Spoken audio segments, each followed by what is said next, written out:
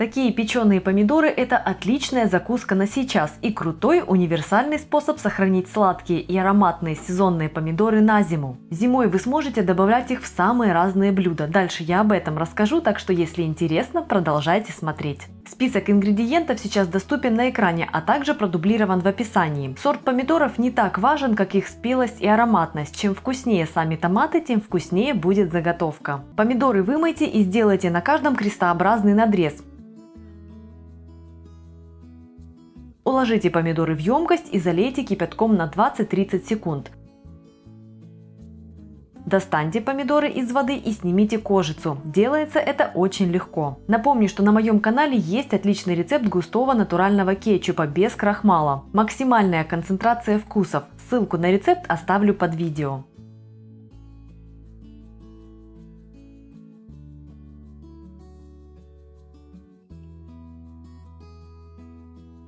Очистив помидоры, разрежьте каждый на 4 части и удалите место крепления черешка.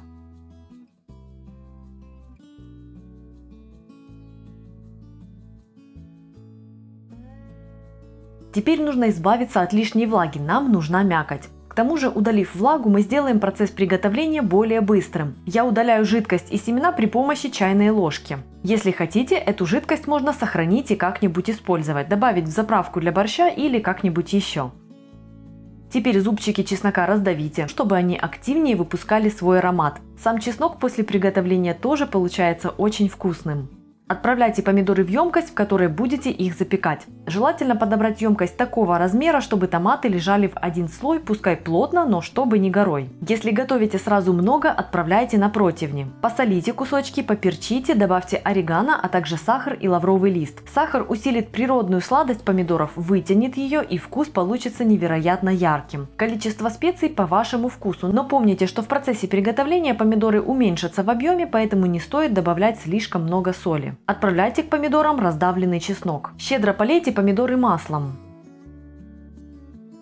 Деликатно перемешайте помидоры, чтобы распределить специи, чеснок и масло. Я делаю это руками, так наиболее удобно. Готовить помидоры можно двумя способами. Разогреть духовку до максимума, поставить томаты, выключить духовку и приоткрыть дверцу, оставив до полного остывания. Либо разогреть духовку до 100-120 градусов и томить в течение 3-4 часов. Если помидоров очень много, может потребоваться больше времени. Я готовила вторым способом, так как делала это днем. Чтобы сохранить такие помидоры на зиму, лучше всего использовать заморозку. В печеном виде они занимают меньше места, чем свежая нарезка или пюре. Впрочем, можно также закатать их в банки, но но в этом случае нужно будет такую заготовку простерилизовать. Пикантные маринованные кабачки со специями и хрустящим луком. В этом видео готовим их быстро и при этом способ отлично подойдет для того, чтобы сделать вкусные запасы на зиму. Кабачки или цукини маринуются быстро благодаря горячему рассолу и тонкой нарезке, и выглядят они очень аппетитно. Список ингредиентов для пол-литровой банки сейчас доступен на экране, а также продублирован в описании под роликом. Я буду использовать цукини, но можно брать и кабачки. Идеально подойдут не очень большие по размеру овощи. Комбинацию специй вы можете варьировать под себя, вводить какие-то ароматы, но главное соблюдать баланс соленого, кислого и сладкого. Если планируете сделать заготовку на зиму, вам также потребуются стерильные банки и крышки.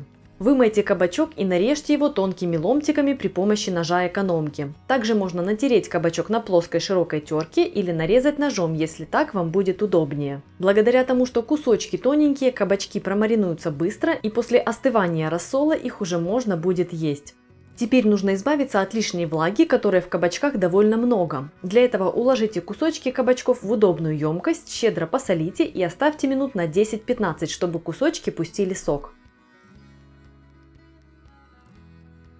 Этим временем займитесь остальными ингредиентами. Красную луковицу очистите, разрежьте надвое и нарежьте тонкими перьями. Кусочки зеленых кабачков или цукини вместе с красным луком будут смотреться очень контрастно, ярко. Лук тоже получится очень вкусным и хрустящим. Отправляйте лук в глубокую миску.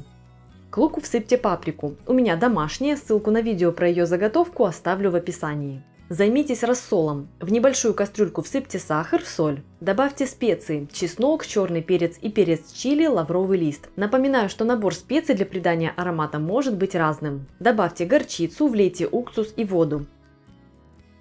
В данном случае я буду использовать домашний красный винный уксус и ссылку на большой материал о том, как я делаю домашние уксусы, я оставлю в описании под роликом. Отправляйте рассол на огонь и доведите его до кипения, а затем снимите с огня. Благодаря нагреванию специи быстрее раскроются, начнут отдавать свои ароматы и температура рассола поспособствует более быстрому маринованию. Вернемся к кабачкам. Они постояли и пустили сок, а сами ломтики стали более мягкими. Деликатно отожмите выделившийся сок, но усердствовать слишком сильно не нужно. Отправляйте кабачки в миску с луком и паприкой. Перемешайте овощи. Удобнее всего делать это просто рукой, так овощи не будут давиться, но прекрасно смешаются.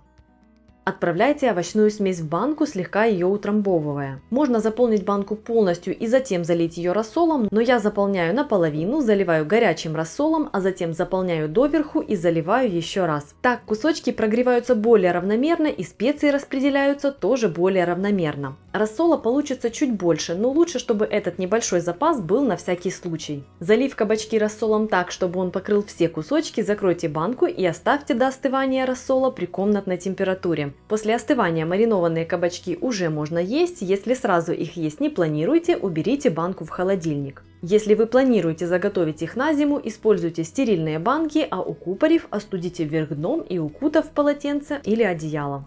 Горячая, пряная, ароматная шакшука. Эту яичницу я готова есть на завтрак, на обед и на ужин. Вкуснее всего прямо со сковороды, обжигающая горячую от температуры и приятно острую благодаря специям. Можно даже не брать приборы, просто вооружитесь парочкой кусочков вкусного хлеба. Список ингредиентов сейчас доступен на экране, а также я продублирую его в описании. С ингредиентами для этого блюда можно маневрировать. Например, вместо обычного лука в этот раз я взяла парей. Мне очень нравится его текстура. Острый перец используйте свежий или сушеный, чеснок точно так же. Первым делом подготовьте основные ингредиенты. Лук очистите, помойте и нарежьте кольцами. Иногда в парее бывает песок, в этом случае уже нарезанные кольца лучше промыть. Обычный лук просто нарежьте. Помидор разрежьте пополам, а затем нарежьте небольшими кусочками. Если не любите кожицу, удалите ее, предварительно обдав помидор кипятком. Я не заморачиваюсь, честно говоря. Так как я готовлю пока не в сезон, использую один свежий помидор и томаты в соку. Если они целые, разминаю слегка вилкой. Если обнаружите кожицу, снимите. Специи необходимо истолочь в ступке или побить скалкой в каком-то пакете. Так мы поможем им дать нам больше аромата. Не нужно измельчать их в однородный порошок, просто нарушите целостность зернышек. Ну а теперь готовим. Я беру небольшую сковороду, в которой удобно шакшуку подавать индивидуально. На небольшом огне нужно разогреть сковороду, влить растительное масло и отправить туда кусочек сливочного. Растительное масло поможет сливочному не гореть, а при этом аромат сливочного масла очень круто раскрывает аромат парея, а также подчеркивает вкус помидоров. В масло всыпьте специи, это даст им раскрыться. При этом следите, чтобы специи не подгорели, они просто должны прогреться в масле и оно насытится ароматами. Отправляйте в сковороду лук. Если используете не сушеный чеснок, а свежий, вместе с луком отправляйте в сковороду и его. Перемешайте, чтобы лук покрылся маслом со специями, накройте сковороду крышкой и готовьте 1-2 минутки, пока лук не размягчится. Когда лук станет мягким, отправляйте в сковороду помидоры. Перемешайте, накройте крышкой и готовьте еще минуту. Отправляйте в сковородку помидоры в соку, перемешайте, приправьте солью и перцем. Оставьте соус тушиться на 2-3 минуты. Ингредиенты должны объединиться, соус станет более густым и обволакивающим. Теперь при помощи лопатки я делаю два углубления в томатном соусе и вбиваю в них по яйцу. Углубление опция не обязательная, но мне нравится, как аккуратно выглядят яйца в таком случае. У каждого свое местечко. Теперь, если вы любите глазунью, оставьте готовиться шакшуку без крышки. Если же не любите глазунью, накройте сковороду крышкой и готовьте, пока белок не окрепнет, но желток при этом должен остаться жидким. Это очень важно, я бы даже сказала, что это самое главное. Подавайте шакшуку сразу с огня, без промедления. Она должна быть горячей, так сказать, отовсюду, и по температуре, и по вкусу. Дополните блюдо рубленой зеленью и несколькими кусочками хлеба или питой. И наслаждайтесь.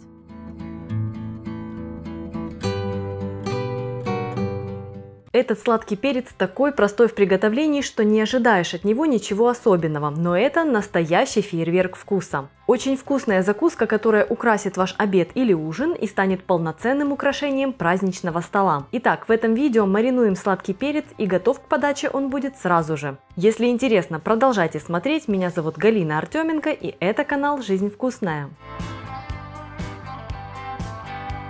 Список ингредиентов сейчас доступен на экране и продублирован в описании.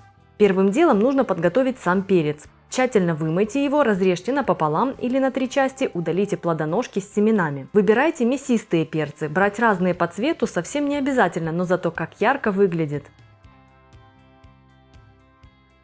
Выложите кусочки перца в широкую форму для запекания или на противень с резом вниз. Запекайте перцы при максимальной температуре духовки до мягкости и слегка обуглившейся кожицы. У меня на это ушло 30 минут. Если у вас есть возможность, можно запечь перцы на открытом огне, чтобы добавить аромат дымка блюду. Запеченные перцы переложите в пакет или глубокую миску, которую нужно накрыть пленкой. Оставьте минут на 20. Перец упреет и кожицу с него будет снять очень легко. Снимите с половинок перца кожицу. По такому же принципу я заготавливаю перец на зиму. Замораживаю печеные очищенные половинки. Я рассказывала в своем видео про заготовку. Если интересно, ссылку оставлю в описании. Теперь нарежьте перец полосками шириной в 1-1,5 см. Отправляйте ломтики в глубокую миску, в которой будет удобно перемешивать их с заправкой. Вы можете сразу смешать кусочки перца всех цветов и заправлять их вместе, но мне нравится заправлять их раздельно. Готовим маринад. Мелко порубите чеснок. Можно также пропустить его через пресс, но мне эти небольшие кусочки нравятся больше. Порубите петрушку. К перцу всыпьте петрушку и чеснок, посолите и поперчите кусочки по своему вкусу.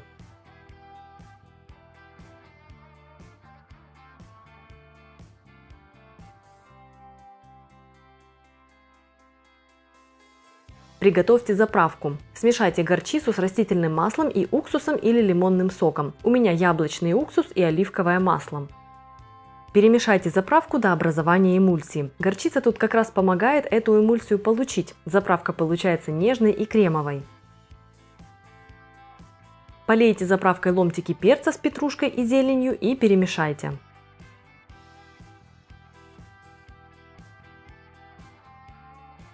Такой сладкий перец готов к употреблению сразу же. Кислота и масло в заправке отлично вбирают в себя ароматы петрушки и чеснока и распространяют их на все блюдо. Впрочем, удобно приготовить порцию и побольше, когда смесь настоится, такой маринованный перец станет еще насыщеннее. Если ролик вам понравился, ставьте лайк, делитесь им с друзьями и оставляйте комментарии. В следующем видео покажу свой самый любимый способ заготовки на зиму помидоров, так что подписывайтесь и жмите на колокольчик, чтобы не пропустить. Меня зовут Галина Артеменко и это канал Жизнь вкусная. Банальная свекла, не банальные салаты. Парочку именно таких рецептов я подготовила для этого видео. Они красивые и изысканные, а еще сытные и очень вкусные. Набор ингредиентов простой и понятный для обоих рецептов. Если интересно, продолжайте смотреть, а чтобы сохранить себе эту подборку, ставьте лайк.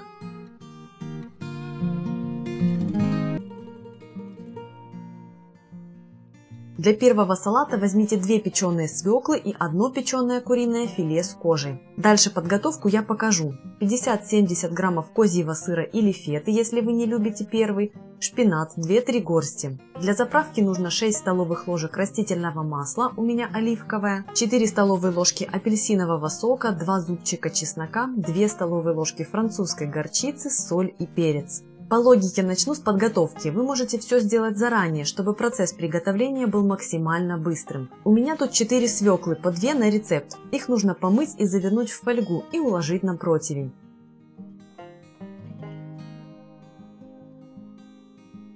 Куриное филе посолите и поперчите с обеих сторон, уложив на кусочек фольги.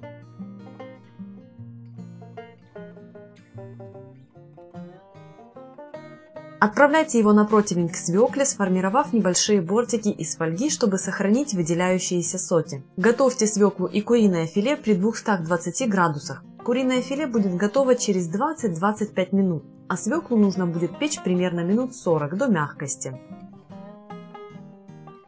Готовим заправку. Идем по моему любимому методу. Готовим заправки в банке. Итак, из апельсина нужно выжать сок и отмерить 4 столовые ложки. Если в нем были косточки, сок процедите. Влейте в удобную банку растительное масло, добавьте французскую горчицу, апельсиновый сок.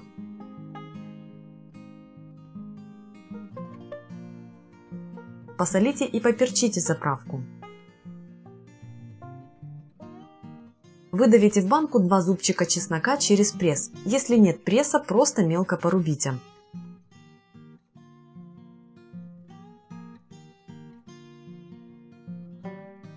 Закройте банку крышкой и хорошенько потрусите ее, чтобы заправка превратилась в эмульсию.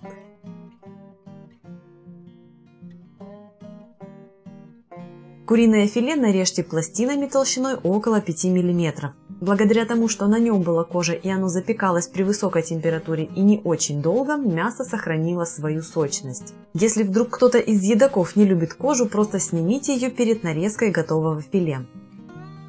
Очистите запеченную свеклу и нарежьте ее дольками. Если такие крупные кусочки вам не нравятся, нарежьте ее мельче.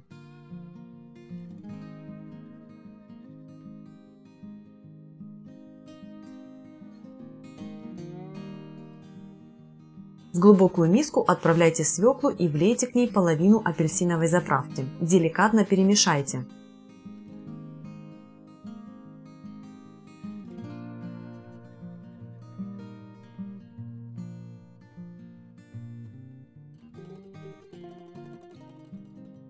Теперь добавьте к свекле 2-3 крупные горсти шпината и очень бережно перемешайте, чтобы заправка распределилась и по нему, но при этом он не помялся.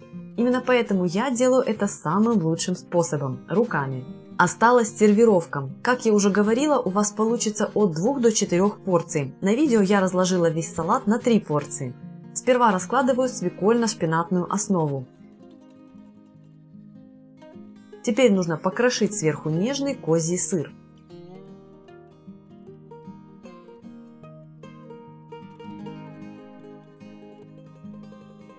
Дальше уложите сверху нарезанное куриное филе с одной стороны, чтобы остались видны и другие компоненты. Если смешать куриное филе сразу с салатом, оно окрасится в розовый цвет и не будет выглядеть так ярко и заманчиво. Полейте куриное филе оставшейся частью заправки. Посмотрите, как это красиво!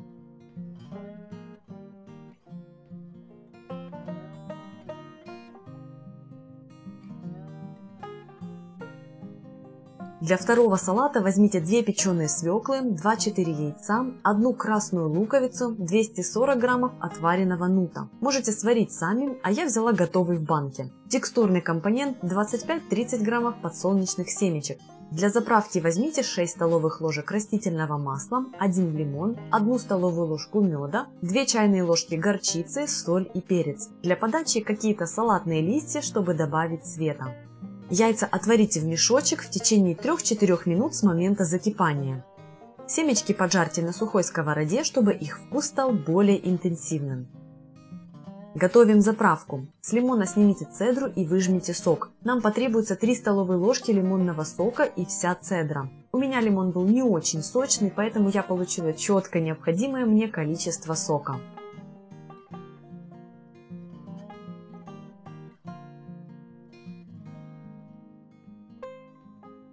Отправляйте в банку лимонную цедру и лимонный сок.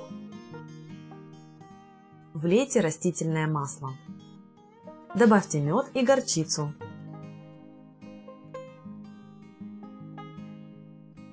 Посолите и поперчите заправку. Закройте банку крышкой и хорошенько потрусите, пока заправка не превратится в эмульсию. Очистите и нарежьте тонкими кольцами лук. Выложите его в глубокую небольшую миску, разделяя руками. И залейте лимонной заправкой. Она замаринует лук и одновременно с этим обогатится его ароматом.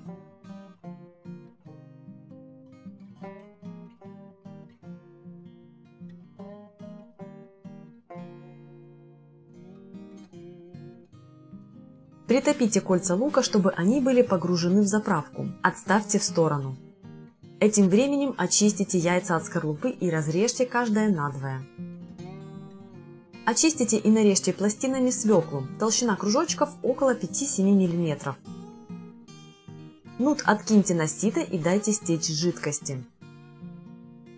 Сервировка. На тарелку выложите слой салата, чтобы создать яркий свежий фон. Сверху разложите кусочки свеклы в виде хаотичного кольца, или как вам захочется. Теперь распределите поверх свеклы подмариновавшийся лук.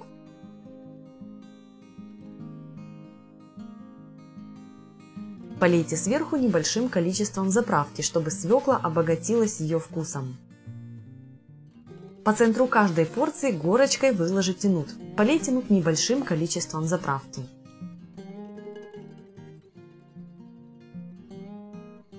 Щедро посыпьте каждую порцию семечками. На горку из нута выложите половинки яиц и полейте их оставшейся частью заправки. Этот салат можно подавать сразу, но и часа через 3-4 после приготовления он будет не менее вкусным и не потеряет вид. Проверено.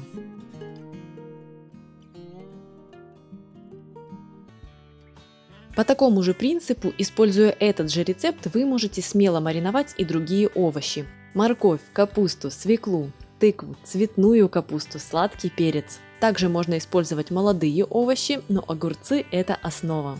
Список ингредиентов к рецепту в конце видео и в описании. Чтобы сохранить себе этот рецепт, ставьте лайк, а также подписывайтесь на мой канал «Жизнь вкусная» и нажимайте на колокольчик.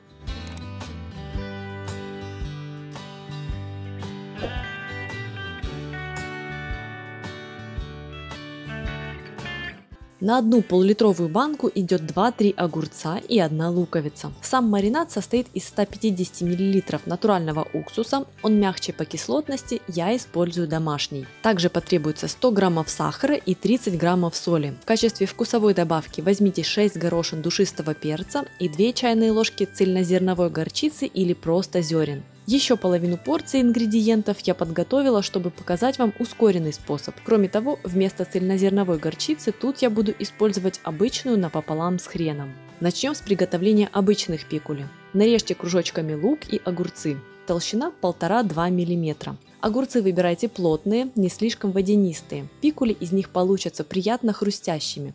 Слишком водянистые огурцы могут получиться клеклыми.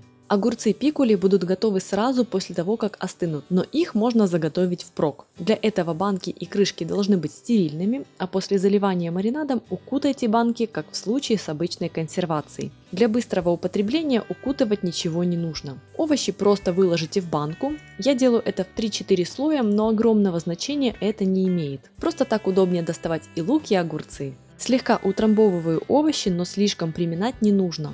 Кстати, так как я готовлю натуральные уксусы самостоятельно, у меня есть на сайте рецепт.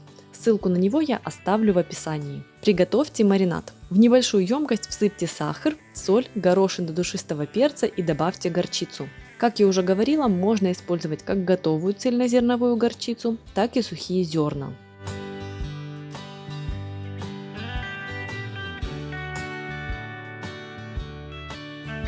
Влейте уксус, слегка перемешайте маринад и отправляйте на небольшой огонь. Дождитесь, пока маринад закипит, а соль и сахар растворятся.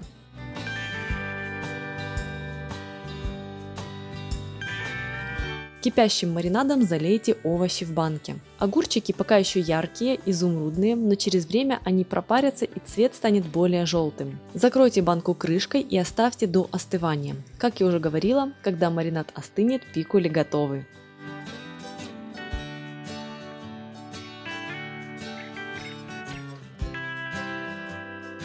А теперь я покажу вам способ приготовления маринованных огурцов пикули за 10 минут. Подготовка овощей точно такая же, как и для основного способа приготовления. Просто нарежьте лук и огурцы кружочками толщиной в 1,5-2 мм. Скоростное приготовление будет производиться благодаря технике сувид. Самой установки сувид у меня нет, но можно просто подогреть воду в кастрюле до нужной температуры и использовать ее. Овощи нужно поместить в специальный пакет и завакуумировать. Если вакууматора нет, можно просто использовать zip-пакеты с застежкой и максимально выпустив из них воздух, закрыть. Отправьте овощи в пакет. Порядок и слои не важны. Все соки, вкусы и ароматы поженятся в любом случае.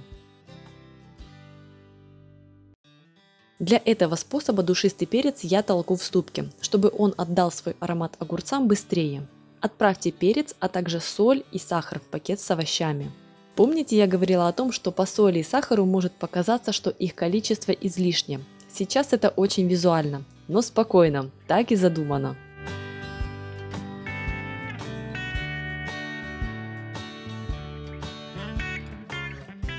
Всыпав сухие ингредиенты, подготовьте маринад. В данном случае подогревать ничего не нужно. Просто смешайте уксус с горчицей и хреном. Перемешайте и влейте к огурцам. Хрен можно использовать и для основного рецепта. Мне его присутствие очень нравится. Он делает вкус настолько сильным, пикантным, острым, что это еще больше усиливает остальные вкусы.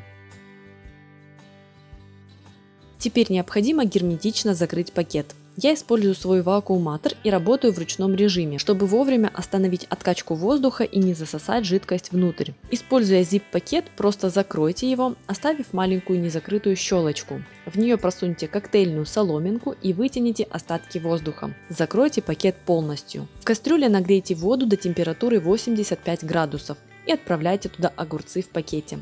Накройте кастрюлю крышкой и оставьте на 10 минут. Так как процесс приготовления быстрый, вам не нужно будет нагревать воду, чтобы держать температуру, как это было бы во время приготовления, скажем, целых овощей или мяса. Через 10 минут пикули готовы. Список ингредиентов сейчас вы видите на экране, а также он есть в описании к видео. Если вы любите баклажаны, это видео заставит вас полюбить их еще сильнее. В нем я собрала 5 крутых рецептов, которые регулярно повторяю. Все рецепты простые, но при этом яркие и интересные. Хрустящие чипсы и мини-пиццы из баклажанов понравятся даже тем, кто не любит баклажаны. Нежный паштет баба гануш порадует всех, кто любит разные намазки на хлеб. А баклажановые фрикадельки и сливочный кассероль и вовсе вполне самостоятельные сытные блюда. Список всех ингредиентов расположен в начале каждого рецепта, а также в описании под этим роликом. Начнем с легкой хрустящей закуски чипсов из баклажанов. Возьмите один крепкий баклажан, вымойте его и нарежьте кружочками толщиной в 1-1,5 мм. Теперь нужно присолить кружочки баклажанов и оставить их минут на 10-15, чтобы соль вытянула горечь. Я выкладываю кружочки на бумажное полотенце и укладываю их в несколько слоев, присаливая каждый слой. Через 10-15 минут соль вытянет наружу влагу, которую нужно хорошенько промокнуть. Уделите внимание каждому кружочку. Теперь выложите кружочки баклажана на противень, застеленный пергаментом. Один баклажан у меня занял два противня, и готовить чипсы я буду одновременно в режиме конвекции.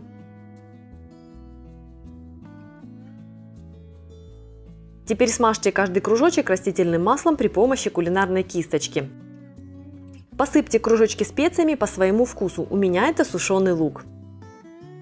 Теперь натрите на мелкой терке твердый сыр типа пармезана, грана падана, джугас и тому подобное. На два противня чипсов не понадобилось всего 30 граммов. Специи и сыр для таких чипсов штука факультативная, но очень желательная.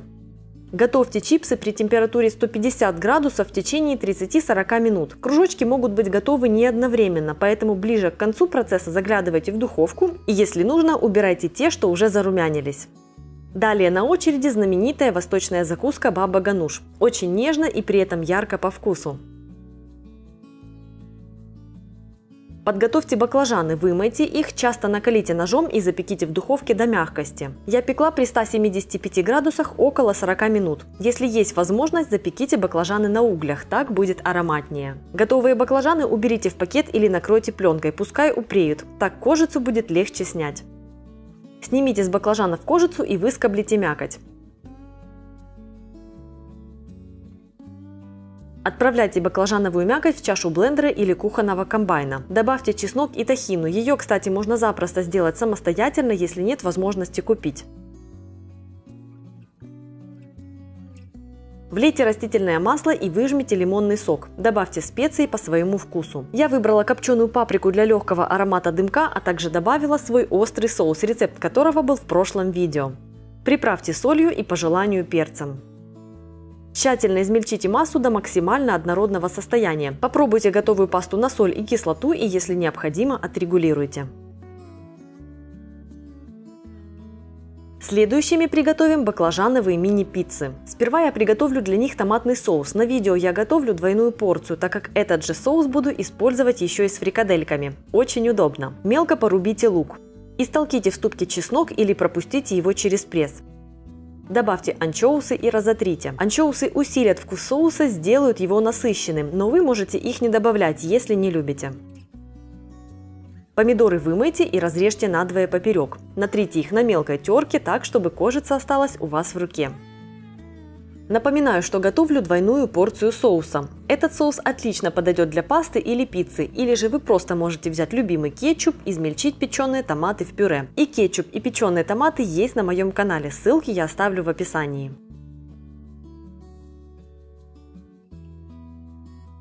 сковороду влейте растительное масло и отправляйте туда лук. Готовьте на небольшом огне до мягкости, после чего добавьте растертый с анчоусами чеснок и перемешайте. Когда смесь распределится и чеснок начнет активно источать ароматы, добавьте в сковороду томатную пасту и влейте натертые помидоры. Добавьте орегано, перец, а вот солью лучше приправить соус в конце, когда он уже уварится. Тушите соус на медленном огне минут 20, пока он не загустеет. Удобно делать это в широкой сковороде. Соус можно использовать уже в таком вот виде, но я предпочитаю дополнительно измельчить его в блендере. Соус готов, теперь займемся остальными ингредиентами. Баклажан вымойте и нарежьте кружочками толщиной в 1-1,5 см. Щедро посолите кружочки и оставьте минут на 15, чтобы соль вытянула горечь. Этим временем нарежьте колбаски, натрите сыр. Теперь промокните каждый кружочек баклажана, уложите их на противень, застеленный пергаментом. Смажьте кружочки маслом и запекайте при температуре 250 градусов в течение 15 минут. Распределите по каждому кружочку немного томатного соуса, затем посыпьте их сыром и выложите по несколько кусочков кабаноси, сколько получится.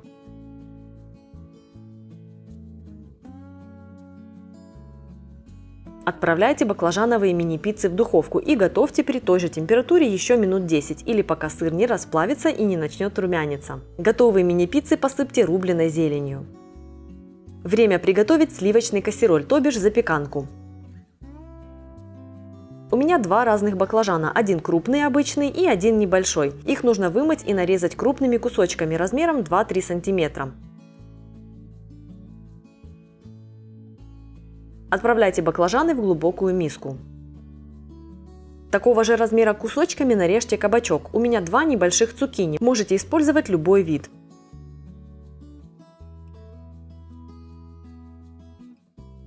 Смешайте кабачки с баклажанами.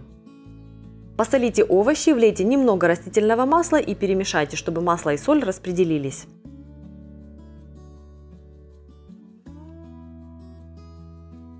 Теперь эту смесь нужно запечь. Так как я готовила несколько блюд одновременно, запекать эти овощи буду на половине противня.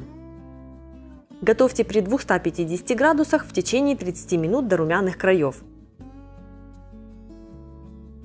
Готовим заливку. Разомните творог, вместо него, кстати, можно взять фету или брынзу, но тогда будьте осторожны с солью. К творогу добавьте крахмал, соль, перец и я также добавляю пищевые дрожжи для насыщенного вкуса. Эта добавка факультативна, можете взять любые специи по своему вкусу. Перемешайте смесь. Влейте к творогу сливки и перемешайте еще раз. Натрите на крупной терке моцареллу. Половину сыра отправляйте в творожно-сливочную смесь, а половина останется для посыпки сверху.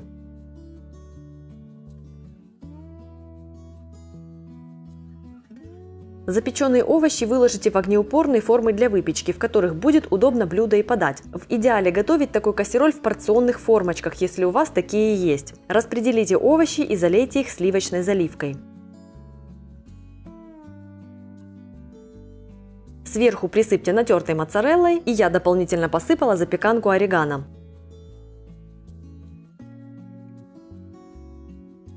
Запекайте при 250 градусах в течение 15-20 минут.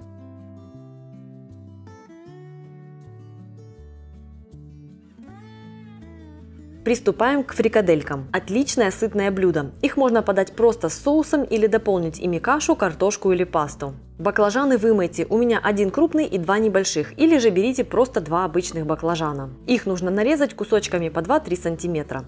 Очистите и крупно нарежьте лук. Отправляйте баклажаны и лук в глубокую миску, посолейте, влейте немного растительного масла и перемешайте, чтобы масло и соль распределились. Выложите овощи на противень и запекайте при 250 градусах в течение 30 минут до мягкости и румяности. Отправляйте овощи в чашу комбайна или блендера. Добавьте чеснок, яйцо, всыпьте панировочные сухари и натертый твердый сыр. Измельчите фарш до однородности. По консистенции он получится вот таким. Сформуйте фрикадельки удобным способом и выложите их на противень, застеленный пергаментом. Я сперва формую фрикадельки маленькой ложкой для мороженого, а затем обкатываю их влажными руками, чтобы придать более гладкий вид. Запекайте фрикадельки при 200 градусах в течение 20-25 минут или до легкой румяности и подавайте с томатным соусом. Он у меня уже готов, я готовила его в части с мини-пиццами, именно поэтому на видео процесс с увеличенной порцией. Сразу сделала побольше и можно применить для разных блюд. Этот салат – покоритель сердец всех любителей картошечки и отличный вариант разнообразить свою ежедневную еду в холодное время года, когда овощей не так много, да и хочется еды сытной. Список ингредиентов к рецепту в конце видео и в описании. Чтобы сохранить себе этот рецепт, ставьте лайк, а также подписывайтесь на мой канал и нажимайте на колокольчик. Картофель я отварила заранее. Получилась заготовка, которая экономит время на приготовление. Также я заранее сделала заправку, которая это идет на пользу. Все вкусы объединяются и салат получается очень насыщенным. Первым делом разотрите горошины душистого перца или измельчите их другим удобным для вас способом. Добавьте зубчик чеснока и разотрите его вместе с душистым перцем. Вы можете и просто пропустить чеснок через пресс. Теперь необходимо порубить зелень. 2 стебля зеленого лука и 4 веточки петрушки. Постарайтесь порубить зелень как можно мельче. Мелко порубите четверть красной луковицы. У нее очень яркий, но при этом мягкий аромат. Вы можете порубить ее мелкими кубиками, как показано сейчас на видео, а для максимально насыщенного вкуса можно измельчить ее блендером. Для картофельных салатов такой вариант мне очень нравится. Теперь к 50 граммам кефира или йогурта добавьте душистый перец и растертый чеснок, а также 50 граммов майонеза. Я использую домашний, ссылку на свои рецепты оставлю в описании. Готовится за минуту. Отправьте в миску к заправке нарубленную зелень и лук. Щедро посолите и поперчите заправку. Тщательно перемешайте. Заправка готова. Пора приступать к основному процессу приготовления. Ингредиенты в сборе – это 6 отваренных картофелин, половина крупной красной луковицы, 200 граммов маринованных огурцов, 250 граммов бекона или грудинки, порция готовой заправки. Бекон или грудинку необходимо поджарить до румяного цвета. При этом жирок вытопится и текстура станет более плотной. У меня грудинка вареная, но лучше всего брать варено-копченую, чтобы вкус был густым, пикантным. Готовую грудинку выложите на бумажные полотенца и промокните сверху, чтобы убрать лишний жир. Главный ингредиент – картофель. Нарежьте крупно, не очищая от кожуры. Во-первых, так выглядит красивее, одновременно брутально и по-деревенски уютно. Во-вторых, кожура создает текстуру. В сезон очень круто использовать небольшой молодой картофель целиком. Также очень красиво в салатах выглядит розовый картофель. Можно использовать не только вареный картофель, а еще и печеный. Так что если у вас вдруг после запекания осталось какое-то количество несъеденного, готовьте американский картофельный салат. Нарежьте красную луковицу. Если у вас крупная, нарежьте ее четверть кольцами, а если небольшая – полукольцами или даже кольцами.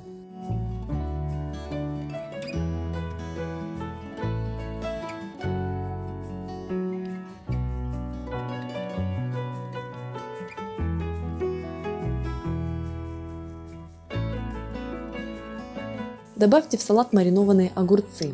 Как я уже говорила, я использую свои пикули. Они уже нарезаны кружочками и имеют очень насыщенный кисло-сладкий вкус. Поджаренную грудинку уложите стопкой и нарежьте квадратиками размером около полутора сантиметров. Если вы используете бекон, а он обычно тоньше и после обжаривания становится хрустящим, можно просто поломать его руками. Отправляйте грудинку к остальным ингредиентам. Перемешайте салат. Я предпочитаю делать это руками, так как составляющие салата довольно крупного размера и руками получается делать это все аккуратнее. Заправлять салат соусом мне нравится уже во время подачи, поставив соус в небольшой емкости в центр самого салата. Так во время подачи все за столом могут рассмотреть, что в его составе, ведь после заправки салат выглядит уже не так аккуратно.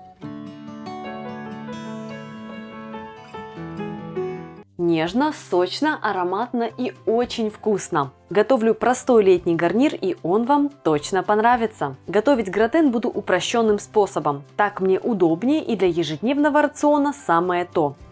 Список ингредиентов к рецепту я оставила в описании к ролику под видео. Начинаю с натирания сыром. Беру два вида. Один для сливочности и нежности, у меня это сулугуни, а также подойдет моцарелла. Второй – выдержанный овечий сыр пекарина, который придаст пикантности. Его нужно совсем немного. Вместо пекарина отлично подойдет пармезан, грана или чеддер. В глубокой миске смешиваю сметану, муку и яйца. У меня рисовая мука, подойдет также манго или кукурузная мука. Приправляю смесь солью и перцем. Добавляю орегано и пропускаю через пресс чеснок. У меня его достаточно щедро, люблю его аромат с кабачками и в сочетании с орегано. По желанию количество можно уменьшить. Перемешиваю смесь. Добавляю натертый сыр.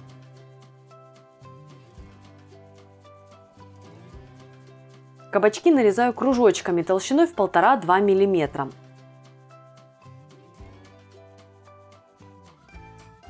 Отправляю кабачки в сметанную смесь и перемешиваю так, чтобы смесь с сыром покрыла кружочки. Делаю это грубо, прямо руками, так удобнее всего и получается достаточно равномерно. Форму для запекания я смазала сливочным маслом и теперь выкладываю в нее кружочки кабачков. Стараюсь выкладывать кружочки равномерным слоем, а выложив форму все, распределяю сверху оставшуюся массу с сыром.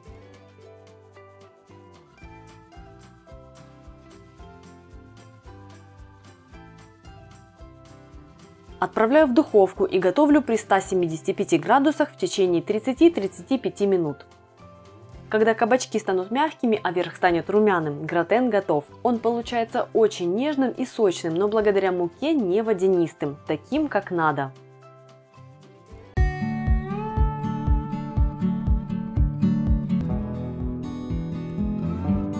Нарезаю куриное филе небольшими полосками толщиной около сантиметра.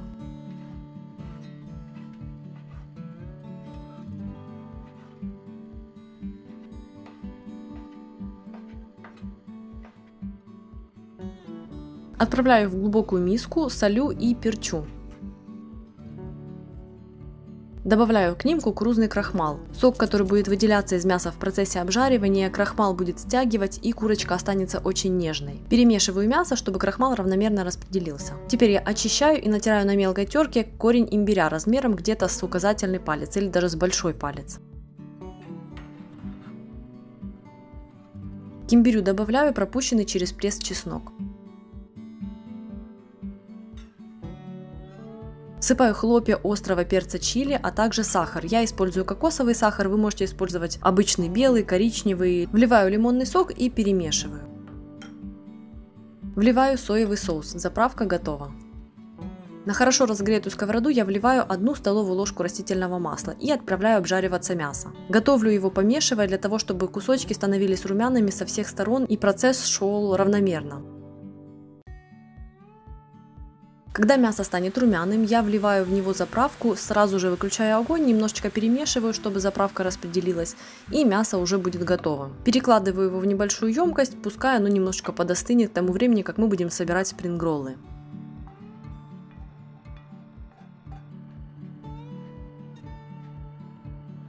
Этим временем я нарезаю овощи. Мелко рублю зеленый лук,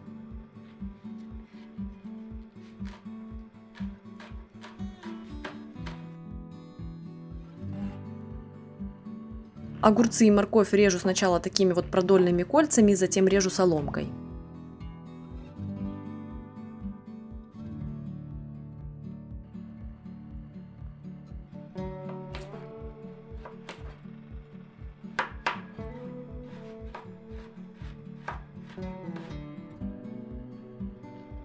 Молодую капусту просто режу такими вот небольшими кусочками.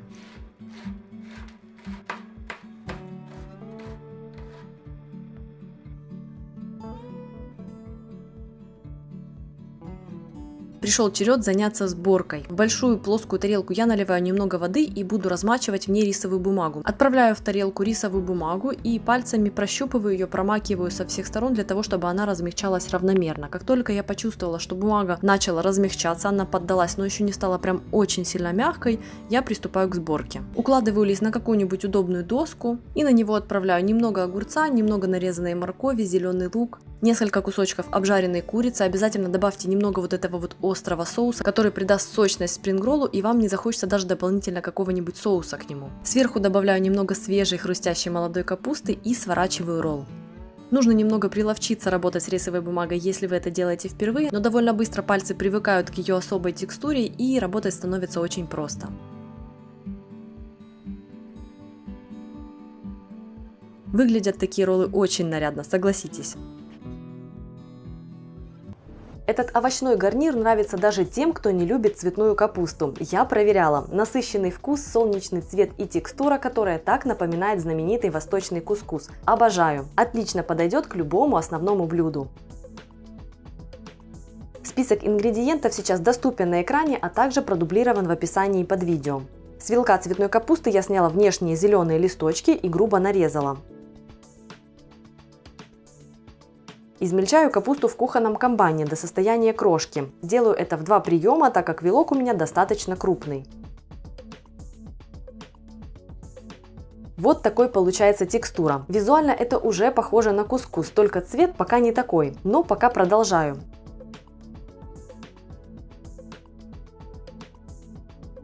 Режу небольшими кубиками луковицу.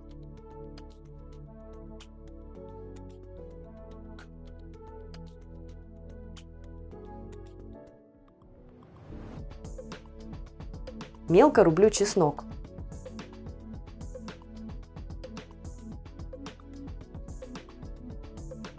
Разогреваю сковородку и отправляю топленое масло.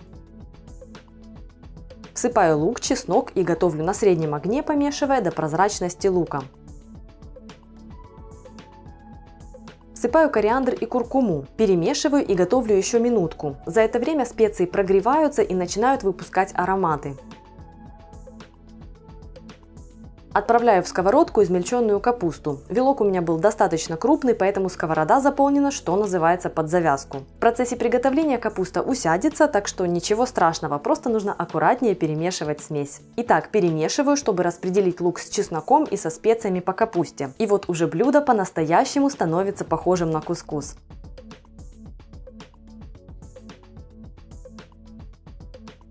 Солю по вкусу и готовлю 5-7 минут.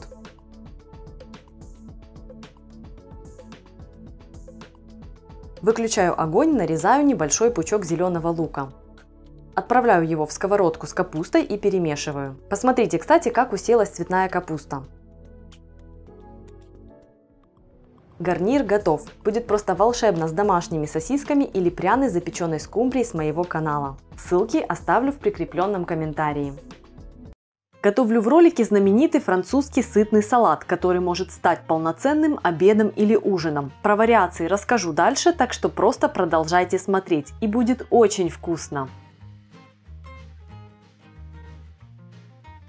Список всех ингредиентов я оставила в описании под роликом. Как я уже говорила, для ежедневного варианта вместо стейка тунца можно смело взять обычный консервированный или сардину. На моем канале есть домашний рецепт, ссылку оставлю. Салатные листья могут быть любыми по вашему вкусу. Вместо плодов каперсов, как у меня, можно взять почки, они придадут пикантности. Начинаю с подготовительных работ. Их можно без напряга сделать заранее и перед обедом или ужином просто собрать салат. Итак, картофель я заливаю водой, добавляю щедро соли и отвариваю до готовности. Мне нравится розовый картофель, так как он не очень разваривается и сохраняет форму. Готовый картофель остужаю. Использовать буду прямо с кожурой, по желанию ее можно очистить. Отвариваю яйца. Мне нравится в этом салате яйца в смятку, так что я аккуратно закладываю яйца в подсоленную кипящую воду и варю их в течение 7 минут. Чтобы при отправке в кипяток скорлупа не треснула, я погружаю яйцо в кастрюлю и держу секунд 20 в ложке и только потом уже опускаю на дно. Готовые яйца остужаю в холодной воде. У меня в морозилке нашелся лед, так что добавила его в воду, чтобы процесс был более быстрым. Если яйца в смятку не любите, отварите вкрутую. Стейки тунца я купила в замороженном виде и дала оттаять в холодной воде. В идеале дайте им медленно оттаять в холодильнике, так текстура сохранится лучшим образом. Разогреваю на максимуме сковороду и вливаю ложку масла. Отправляю на сковороду стейки тунца и обжариваю по 30-40 секунд на каждой стороне, не убавляя огонь. Важно прирумянить их снаружи, но чтобы внутри они остались розовыми. В противном случае тунец будет сухим и жестким. Готовый тунец перекладываю на тарелку. Готовлю заправку бальзамический винегрет. Также сюда отлично подойдет и классический винегрет. Ссылку на видео с салатными заправками оставлю в описании. В банку влейте 1 столовую ложку меда. Если у вас мед густой, его лучше немного подогреть. Добавьте к меду 3 столовые ложки бальзамического уксуса, который обладает неповторимым карамельным вкусом и насыщенным цветом. Влейте в банку 4 столовые ложки растительного масла. Я использую простое рафинированное. Добавьте 2 чайные ложки французской цельнозерновой горчицы. Приправьте соус солью и перцем, а также всыпьте одну чайную ложку смеси итальянских трав или прованских трав. Закройте банку крышкой и тщательно потрясите ее, пока заправка не станет однородной. Приступаю к сборке салата. Разрезаю картофель напополам и режу толстыми полукружочками.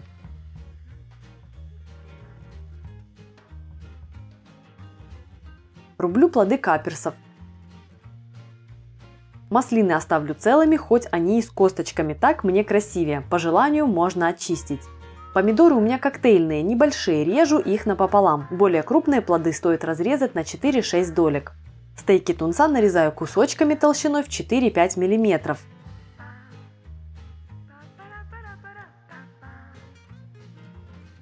Очищаю от скорлупы яйца и разрезаю каждое надвое. Делаю это аккуратно, чтобы желток сохранился внутри, не вытек. Рублю зеленый лук.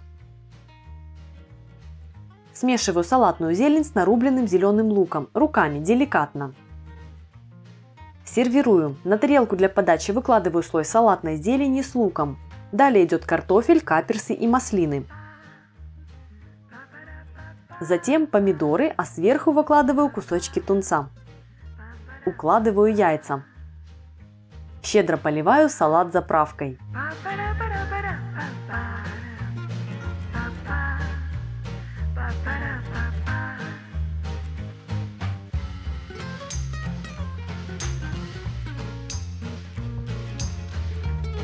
Нежные, сочные и очень ароматные. Такие колбаски для жарки я готовлю в этом ролике. И если интересно, продолжайте смотреть.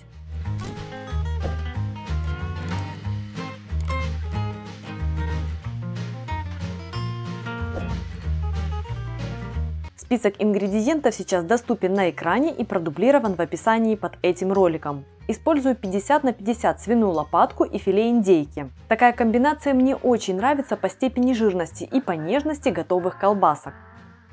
Фарш из свинины у меня уже был готов. Для съемок ролика с рецептом свиных сосисок я купила мясо с запасом, пропустила лопатку через мясорубку и оставшийся фарш заморозила на будущее. Перед съемкой этого ролика я просто переложила пакет с фаршем на ночь из морозилки в холодильник для медленного оттаивания. При этом фарш не размерзся полностью, это нормально. То, что он будет очень холодным, ему на пользу.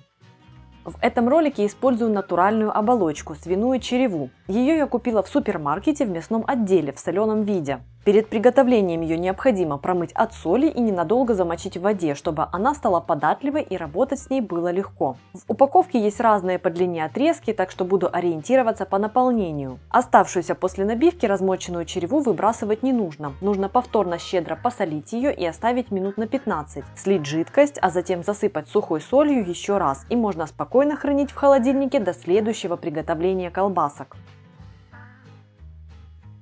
Приступаю к приготовлению фарша. Свинина у меня уже измельчена, а для того, чтобы текстура колбасок была интереснее, я нарезаю индейку кусочками размером в сантиметр полтора.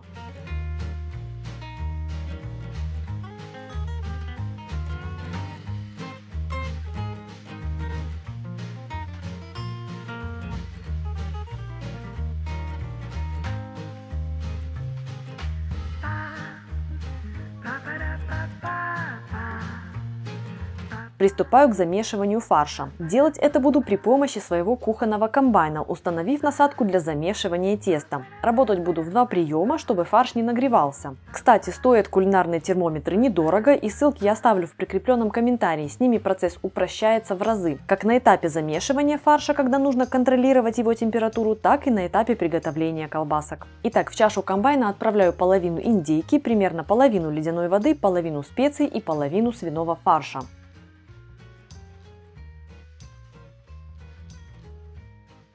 Смешиваю до образования вязкого и упругого фарша. При смешивании вручную тоже стоит ориентироваться на то, чтобы фарш получился вязким.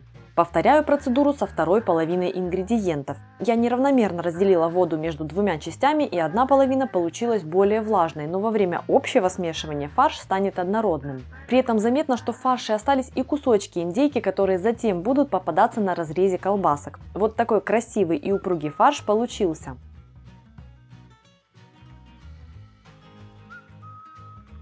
Теперь устанавливаю насадку на свой шприц и надеваю размоченную оболочку. Если нет шприца, используйте мясорубку. Также я встречала рекомендацию набивать колбаски при помощи пластиковой бутылки, но сама не пробовала и не знаю, насколько это удобно. Если вы пробовали, поделитесь опытом в комментариях. Подгоняю фарш к краю насадки и стягиваю оболочку. Завязываю край и набиваю колбаски. Если есть рядом помощник, не стесняйтесь попросить помочь с набивкой. Так будет быстрее и проще, но я справляюсь в одиночку.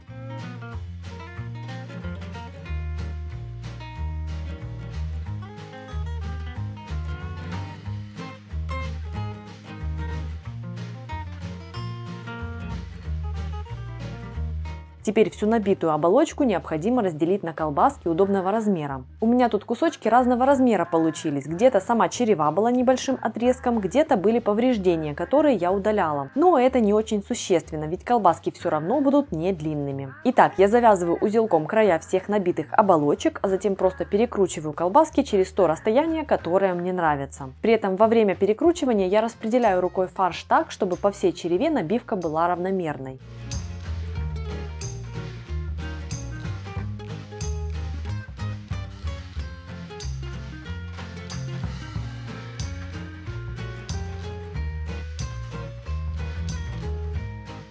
Если внутри образовались какие-то пустоты, просто удаляю их, проколов оболочку иголкой.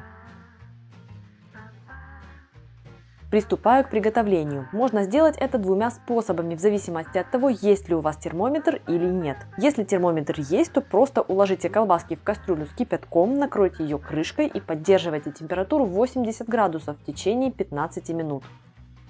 Если термометра у вас нет, готовить следует в два приема, по половине порции из этого рецепта. В кастрюле на 5 литров доведите до кипения 3-3,5 литра воды. Опустите туда половину колбасок, накройте крышкой и оставьте на 5 минут. Затем включите под кастрюлей самый маленький огонь, который у вас возможен, и прогревайте кастрюлю с колбасками в течение 5 минут. После этого выключите огонь и подержите колбаски в кастрюле еще 5 минут. Итого получаем 5 минут после того, как отправили в кипяток, еще 5 минут прогреваем, еще 5 минут в воде и вынимаем. Не торопитесь и не закидывайте в кастрюлю все колбаски за раз, только если у вас кастрюля объемом вдвое больше. В противном случае колбаски опустят температуру в кастрюле слишком сильно и процесс приготовления нарушится. После такого приготовления колбаски останется лишь быстро подрумянить на сковороде или на углях и можно наслаждаться.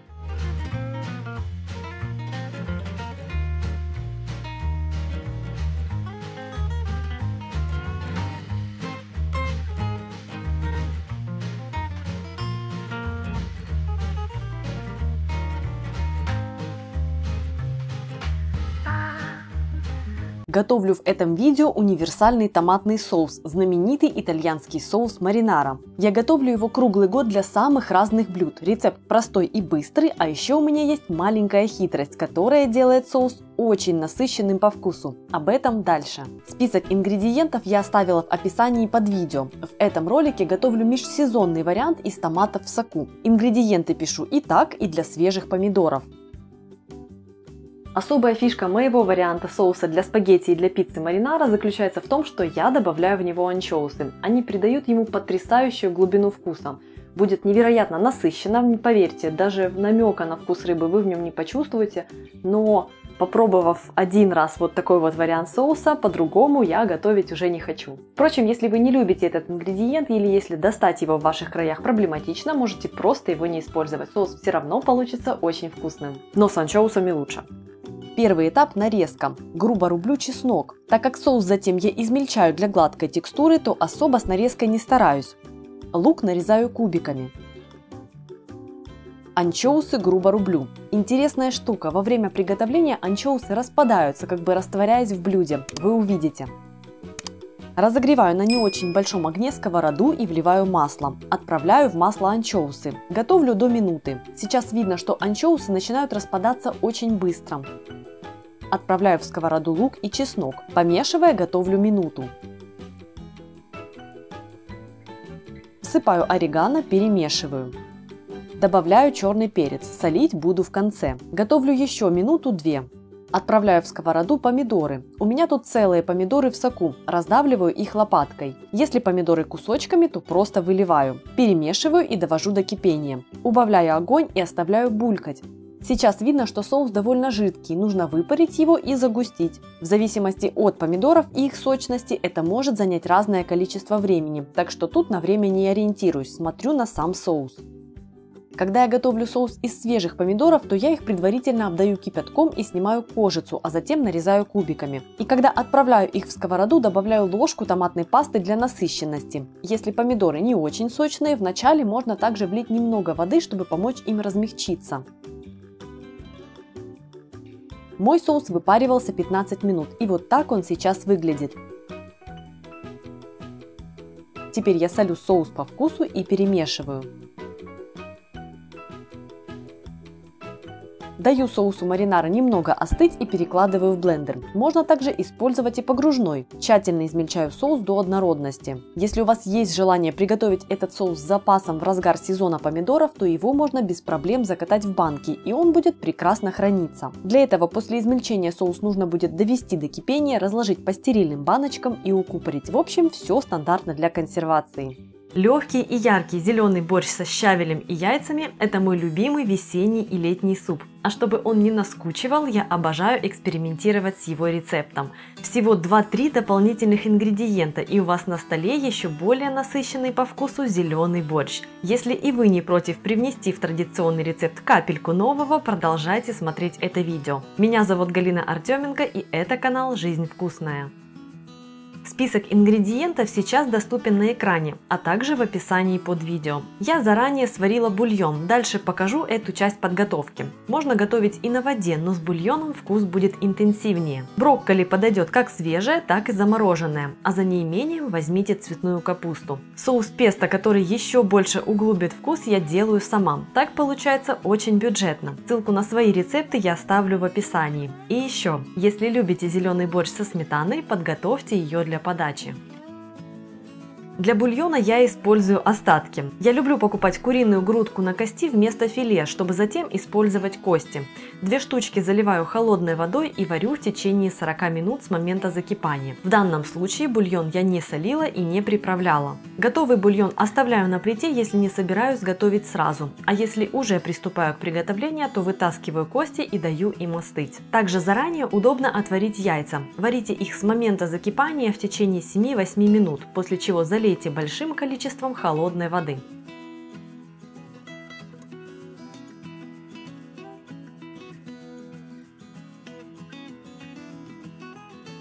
Дополнительно прохожусь по костям из бульона и снимаю остатки мяса, которые потом тоже отправлю в зеленый борщ. Зачем же добру пропадать? Эти небольшие кусочки мяса отправляю в трехлитровую кастрюлю. Мой зеленый борщ будет довольно густым. Я люблю такую консистенцию. Если вы любите послабее, либо возьмите большую кастрюлю, либо уменьшайте количество основных ингредиентов. Картофель очистите, вымойте, а затем нарежьте кубиками. Отправьте картофель в кастрюлю с мясом.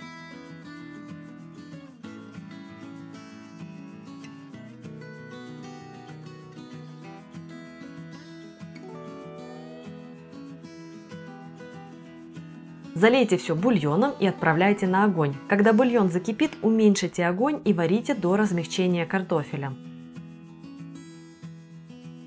Лук. Его очистите, разрежьте надвое и порубите небольшими кубиками. Очищенную и помытую морковь натрите на крупной терке. В небольшой сковороде разогрейте столовую ложку растительного масла и отправляйте в него лук. Готовьте на маленьком огне до прозрачности и легкой румяности, а затем добавьте морковь. Готовьте овощи до мягкости.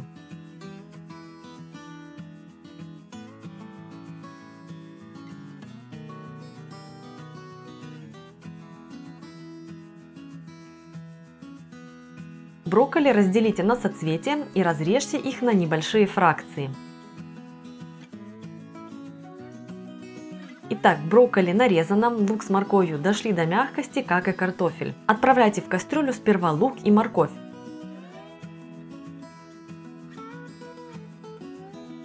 Поперчите. Теперь отправляйте в кастрюлю нарезанную брокколи и пускай борщ дойдет до кипения.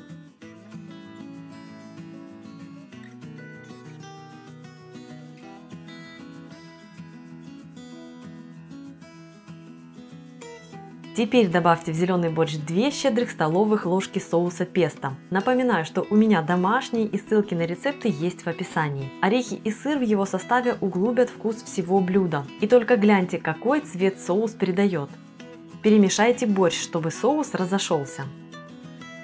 Пришло время зелени. Промытый и просушенный щавель нарежьте. Кажется, что его очень много, но при добавлении в борщ он сильно потеряет в объеме. Также порубите зеленый лук, петрушку и укроп. Добавлять в борщ будем всю зелень вместе.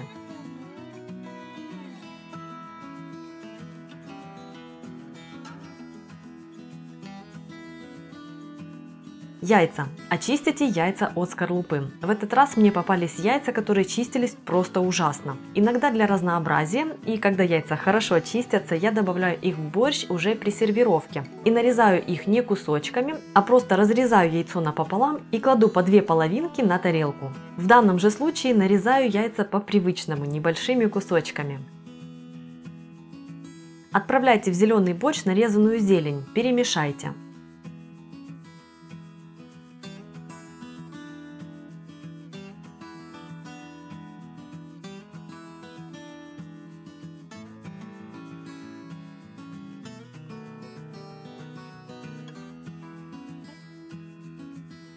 Следом отправляйте нарезанные яйца. Теперь посолите борщ, выключите огонь и дайте блюду настояться под крышкой в течение 15 минут. Сейчас прекрасно видно, каким по густоте получается мой зеленый борщ. Такой богатый зеленый борщ я люблю и без сметаны. Его вкус невероятно насыщенный, а густая консистенция делает его очень питательным и при этом блюдо остается легким. Если мой вариант зеленого борща вам понравился, ставьте лайк. Подписывайтесь на канал и жмите на колокольчик. В следующем видео приготовим домашнюю докторскую колбасу. Это будет очень вкусно и натурально. Когда начинается стойкая жара, я делаю окрошку каждый день, и она не надоедает недели две точно. Огромный плюс в том, что готовить ее просто и у плиты особо стоять не нужно. Разве не прелесть? Список ингредиентов к рецепту будет в конце видео и в описании. Ставьте лайк, чтобы сохранить себе этот рецепт и подписывайтесь на мой канал «Жизнь вкусная». И нажимайте на колокольчик, чтобы получать уведомления о выходе новых вкусных видео. Возьмите 500 граммов варено-копченой ветчины или мяса, у меня куриное филе, по 5 яиц, картофелин и огурцов. Легко запомнить. Также потребуется укроп и зеленый лук, соль, перец по вкусу. Для заливки я буду использовать кефир, а выберите то, что любите именно вы. По сути, приготовить окрошку – это просто нарезать все ингредиенты. Начинаю с мяса. Нарежьте его кубиками. У меня размер около полутора сантиметров, не очень маленькие и не очень крупные. И пожевать есть что, и вкус единый. Какое-то подкопченное мясо мне нравится использовать в окрошке больше всего. Оно придает яркий вкус и насыщенность. Если вы не хотите использовать его и вам нравятся более нейтральные вкусы, используйте отварное мясо. Курицу, телятину, нежирную свинину, язык.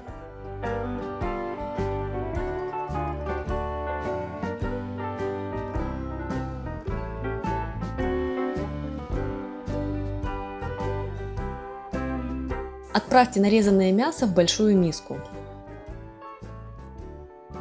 Картофель и яйца необходимо отварить. Я сделала это заранее, чтобы они успели остыть к моменту приготовления.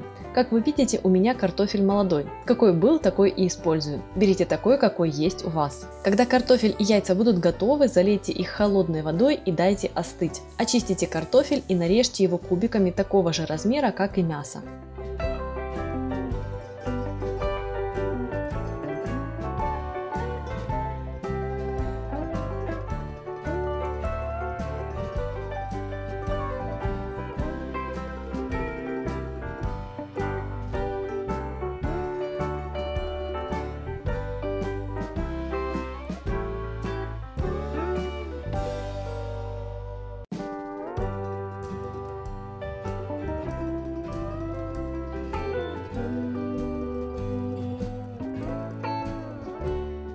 Очистите от скорлупы яйца и нарежьте. Обычно кусочки яиц у меня получаются чуть крупнее, но я не особо заморачиваюсь, ведь в процессе перемешивания белки отделятся от желтков и размер будет примерно однородным. Если у вас есть специальная сеточка для нарезки или насадка для кухонного комбайна для нарезки кубиком, используйте помощников. Как вам удобнее, так и делайте.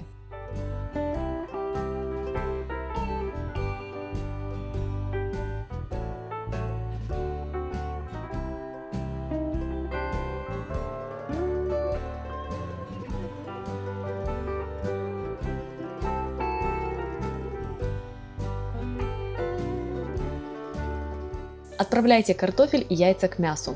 Картофель я при этом как бы разделяю руками, ведь он крахмалистый и кусочки часто склеиваются. Аккуратно помогаю им руками.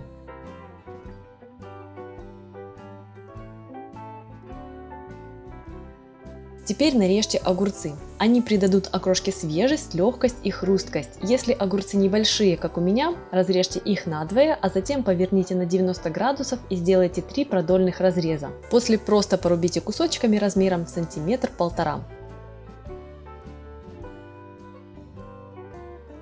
Отправьте огурцы к остальным ингредиентам.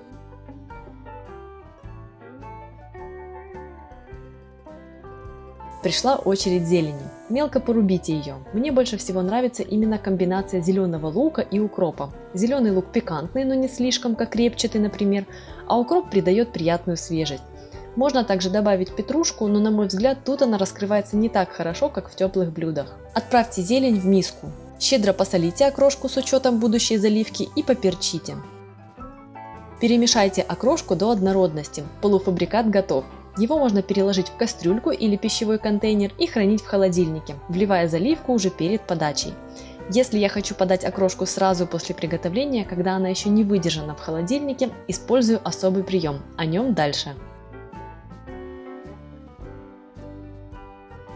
Беру лед, который у меня всегда есть в морозильнике в летнее время. Уложите его на чистое кухонное полотенце. Если у вас вафельное, бумагу стелить не нужно.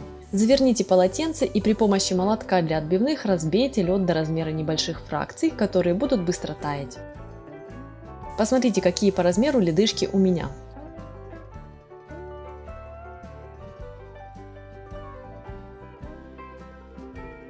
На порцию добавьте столовую ложку колотого льда, а дальше просто добавляйте заливку – кефир, квас, минералку, сыворотку и так далее. Приятного аппетита и вкусного вам лета!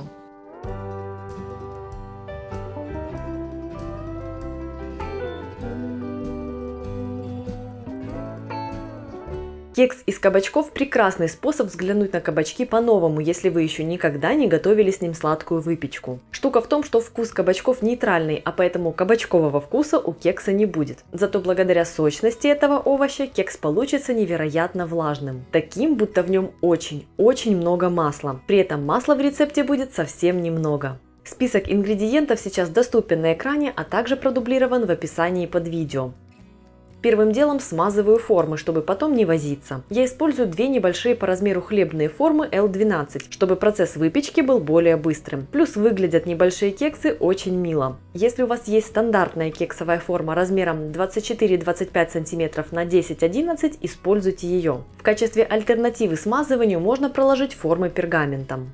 Сухие ингредиенты. К муке добавьте крахмал, сахар, разрыхлитель, соду, соль и мак. Используем комбинацию соды и разрыхлителя, так как в тесте будет лимонный сок. Так получится баланс.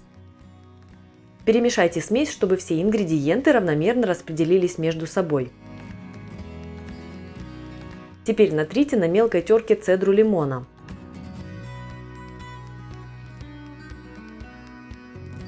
Выжмите сок из половинки лимона. Если лимон костлявый, процедите сок через сито. Теперь нужно очистить от кожицы кабачок и если он уже не молот, удалить семена. У меня довольно небольшой плод, поэтому семена не удаляю. У меня получилось 190 граммов мякоти. Ориентируйтесь на то, чтобы кабачка было в пределах 160-200 граммов. Очищенный кабачок нужно измельчить в пюре. Для удобства крупно его нарезаю, отправляю в банку и вливаю к нему лимонный сок. Измельчаю при помощи погружного блендера до однородного состояния. В глубокую миску отправляйте кабачковое пюре с лимонным соком. Добавьте лимонную цедру, вбейте яйца и влейте масло. Можно использовать как растительное, так и растопленное сливочное. Перемешайте смесь венчиком. Влейте молоко, перемешайте. Всыпьте смесь сухих ингредиентов и смешайте тесто быстро, но тщательно. Комочка в нем быть не должно. Вылейте тесто в форму. Я распределяю по двум небольшим.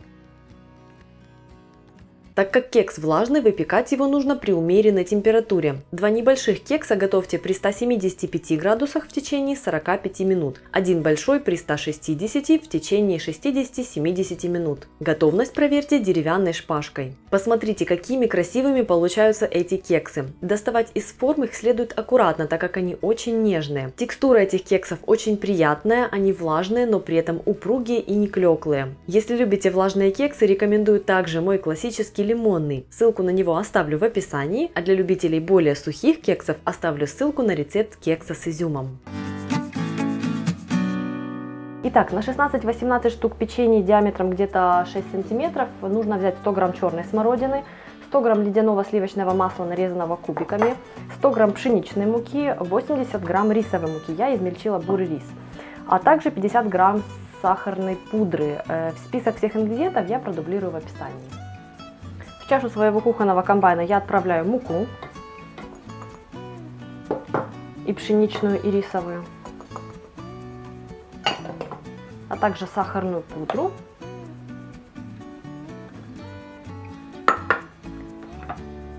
и кусочки ледяного сливочного масла.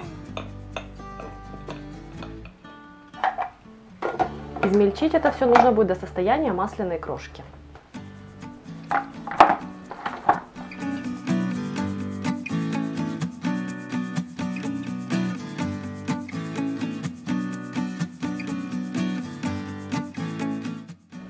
Вот какой должна получиться наша смесь, как влажный песочек.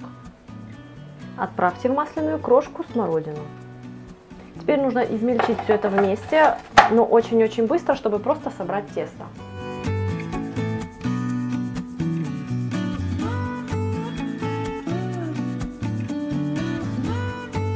Посмотрите, какое тесто должно получиться. Оно просто невероятно ароматное.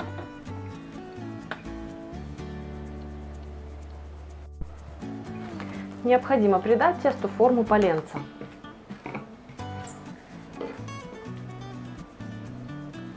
Вот эти вот оставшиеся неразбитые кусочки смородины превратятся в процессе выпекания в нечто желеподобное или мармеладоподобное.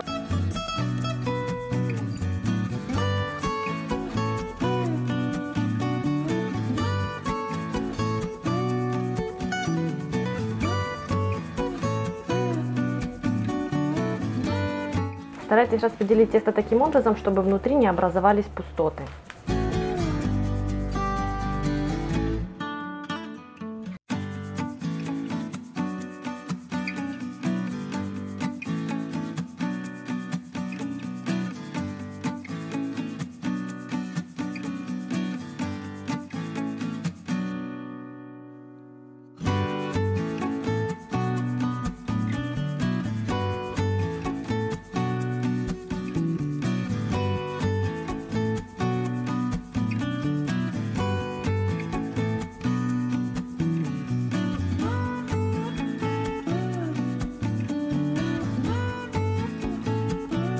Когда поленце хорошенько остынет и тесто затвердеет, нарежьте его на порции.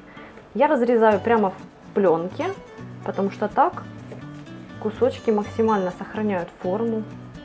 Ширина кусочков примерно 1 сантиметр.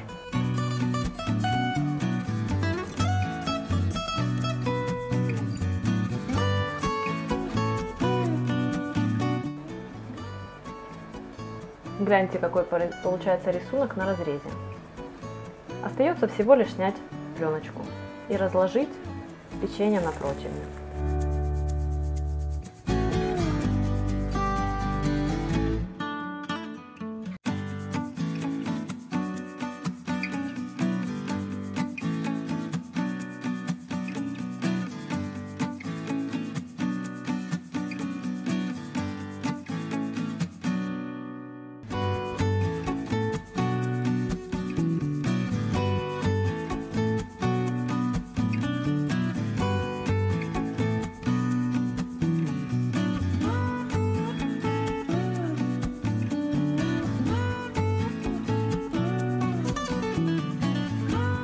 Вы точно уже слышали про этот рецепт, но готовили ли вы по нему когда-нибудь? Легендарный сливовый пирог по рецепту из газеты New York Times. Отличная сезонная выпечка к чаю, простая в приготовлении и очень вкусная. Нежное тесто и яркий фруктовый вкус. Привет, друзья, меня зовут Галина Артеменко и дальше готовим знаменитый пирог.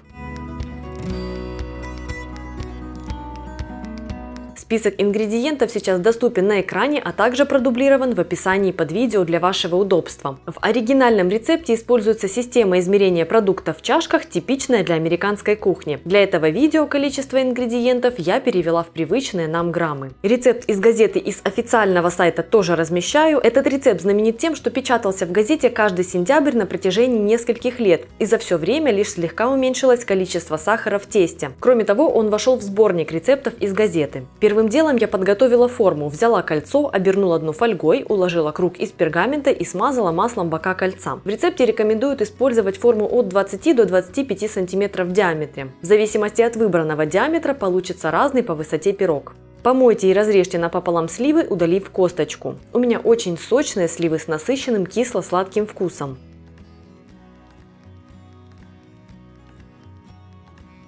Теперь тестом. Это очень простое кексовое тесто, которое готовится на основе масла. К размягченному сливочному маслу всыпьте сахар и взбейте до кремового состояния. От себя рекомендую использовать сахарную пудру, но это не критично. Теперь просейте к маслу с сахаром муку, смешав ее с разрыхлителем и щепоткой соли. Вбейте яйца. Перемешайте тесто быстрыми движениями, чтобы не было комков. Я сперва смешиваю ложкой до исчезновения сухих фракций, а затем быстро разгоняю комки миксером. Распределите тесто по форме. В рецепте из газеты сливы указаны в количестве 24 половинок, и это количество поместилось у меня в диаметр 24 сантиметра. Если вы хотите получить пирог выше, используйте диаметр 20 сантиметров, и половинок на такой пирог уйдет меньше.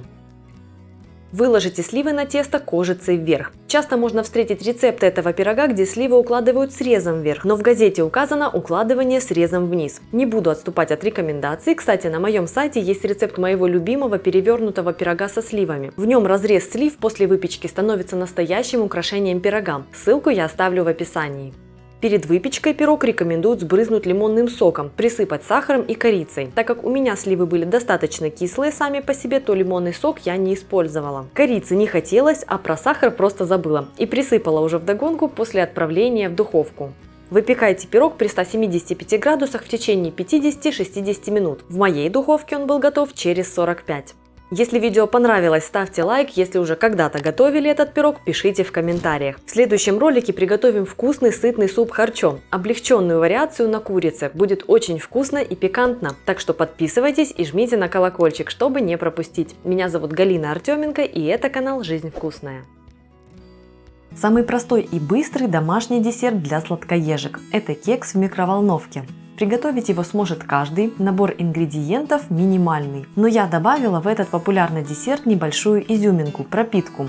Она превратит его в то, что вы будете есть, закрывая глаза от удовольствия. Вы, конечно же, можете готовить по этим рецептам кексы и без пропитки, если не любите влажные бисквиты. Кстати, эти кексы готовятся без яиц. На одну порцию возьмите 5 столовых ложек муки, половину чайной ложки разрыхлителя, щепотку соли, 2 столовые ложки сахара.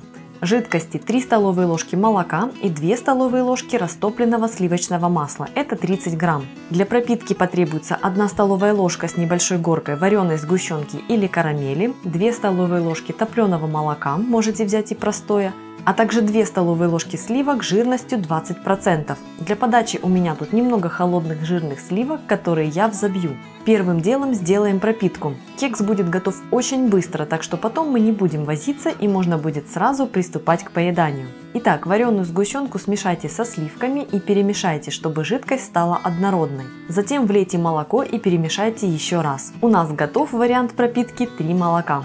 Тесто для кекса в микроволновке удобно смешивать прямо в чашке, в которой вы будете его готовить. Но чтобы вам была лучше видна консистенция теста, я буду использовать прозрачную пиалу. В пиалу всыпьте муку, добавьте сахар,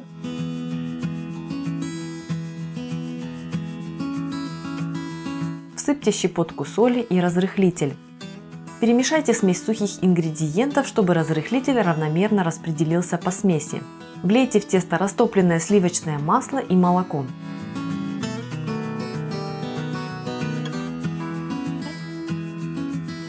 Перемешайте до однородности и исчезновения сухих комочков.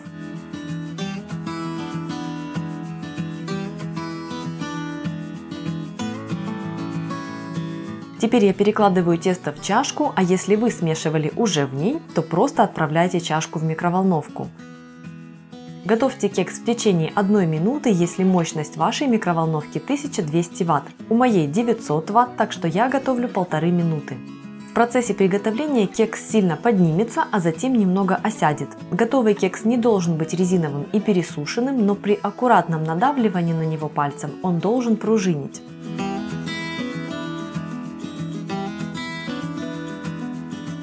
Горячий кекс проткните в нескольких местах зубочисткой и вылейте ранее подготовленную пропитку. Дайте ей впитаться.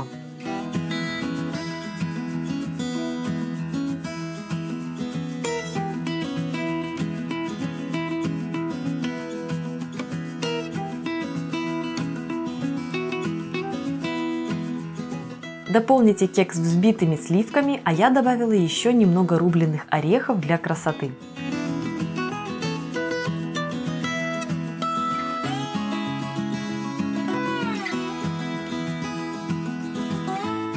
На одну порцию возьмите 4 столовые ложки муки, 1 столовую ложку какао-порошка, 2 столовые ложки сахара, половину чайной ложки разрыхлителя и щепотку соли. Жидкие ингредиенты 3 столовые ложки молока и 2 столовые ложки растопленного сливочного масла. Для пропитки потребуется 2 столовые ложки шоколадного сиропа, 4 столовые ложки сливок 20%, а для подачи немного шоколада. Начнем с пропитки. Шоколадный сироп смешайте со сливками до однородности. Ссылку на рецепт домашнего шоколадного шоколадного сиропа я оставлю в описании под видео.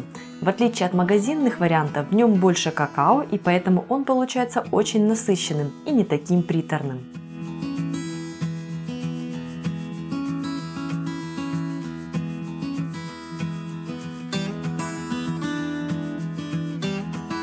Тесто. Отправляйте в миску или прямо в чашку муку, сахар, какао-порошок.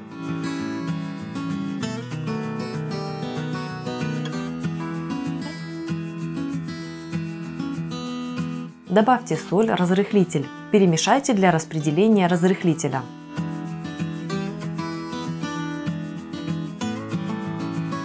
Влейте к сухим ингредиентам масло и молоко. Перемешайте до однородности.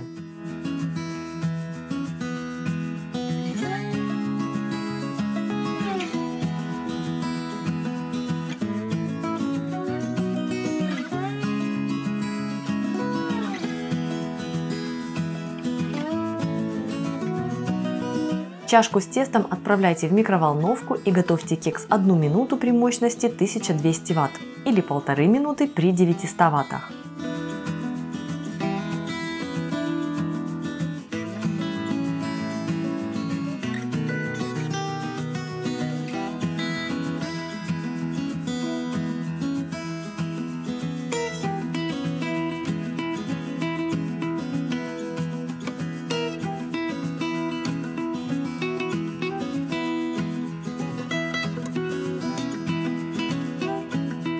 готовом кексе сделайте несколько проколов зубочисткой и залейте его пропиткой.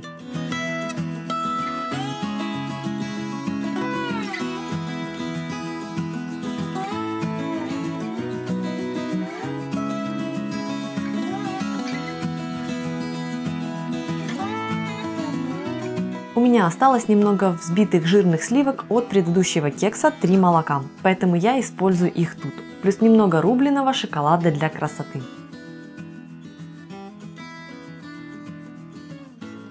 Готовлю вкусный сироп-концентрат для освежающего домашнего напитка, который так похож по вкусу на знаменитую колу. Летом это то, что нужно.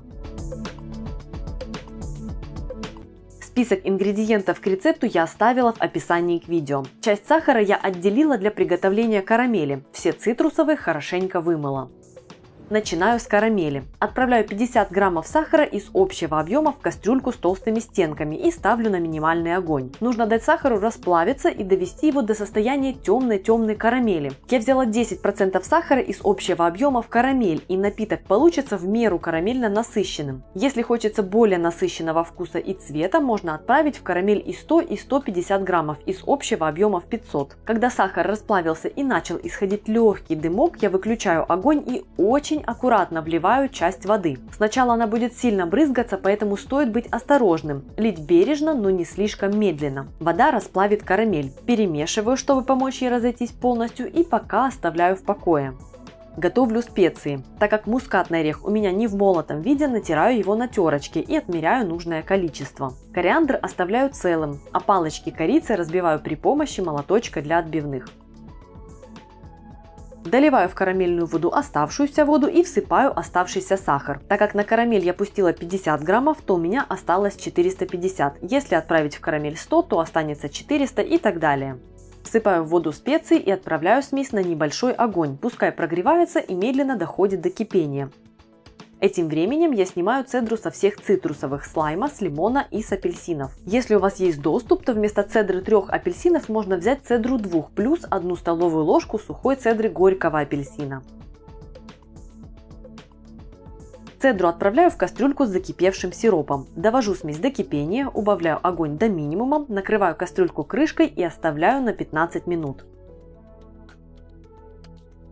Этим временем выжимаю сок изо всех цитрусовых, с которых я сняла цедру. Выжимаю все в одну миску и не заморачиваюсь насчет косточек и мякоти. Затем сироп я буду процеживать, так что пока важно просто хорошо отжать сок.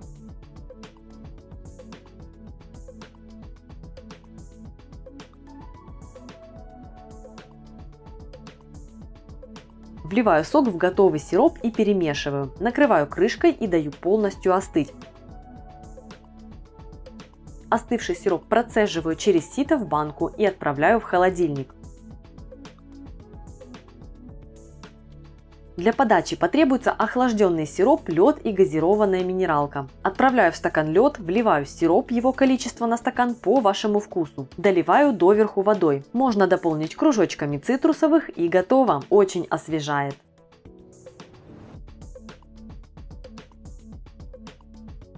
Квас в домашних условиях очень удобно готовить на закваске. Это очень быстро, ароматно и вариантов могут быть десятки. Такой домашний квас получается приятно газированным и освежающим благодаря кислинке. В этом видео три варианта такого напитка, так что если вы ведете закваску для хлеба, неважно ржаную, пшеничную или какую-то другую, продолжайте смотреть. Если же закваску вы пока не ведете, вот вам еще одна из причин ее завести, чтобы готовить такой вот квас. Список ингредиентов для приготовления каждого вида кваса сейчас доступен доступен на экране, а также он продублирован под видео. Расчет дан на литровую банку. Вы можете использовать остатки закваски после регулярного кормления или отобрать немного, когда будете ставить опару для хлеба. Я использую остатки. Изюм лучше выбирать не обработанный глицерином, он матовый, иногда с белесым налетом. Начнем с традиционного кваса на солоде. У него очень насыщенный, характерный и узнаваемый вкус. Сперва отправляйте в небольшую миску солод и сахар. Перемешайте. Доведите до кипения 200 граммов воды и залейте кипятком кипятком солод с квасом. Кипяток активирует, раскроет аромат солода.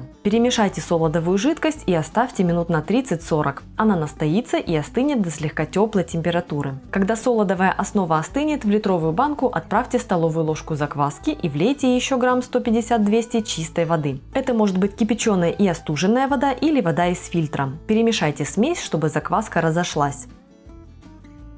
Влейте в банку солодовую ароматную воду. Перемешайте и долейте в банку воду, чтобы заполнить ее по плечике. Можно даже чуть больше, квас будет бродить, но не слишком бурно, так что много свободного места оставлять не нужно. Накройте банку кусочком чистой ткани, марли или агроволокна и зафиксируйте резинкой. Первый квас готов бродить. Второй квас белый с имбирем и цедрой. Белый квас самый незатейливый в приготовлении. В литровую банку отправляйте столовую ложку закваски и ложку сахара. Влейте грамм 150-200 чистой воды и перемешайте смесь, чтобы закваска разошлась. Теперь добавки, которые придадут дополнительный аромат. Корень имбиря тщательно вымойте и нарежьте пластинами около миллиметра толщиной. Лимон вымойте, обдайте кипятком и снимите с него цедру. Удобно делать это при помощи ножа экономки. Крупные пластины не будут мешать фильтрованию кваса, как если бы это было с натертой на мелкой терке цедрой. В банку сосновой из закваски отправляйте имбирь и лимонную цедру. Долейте в банку воду, чтобы доходило до плечиков. Перемешайте, накройте банку тканью и зафиксируйте ее.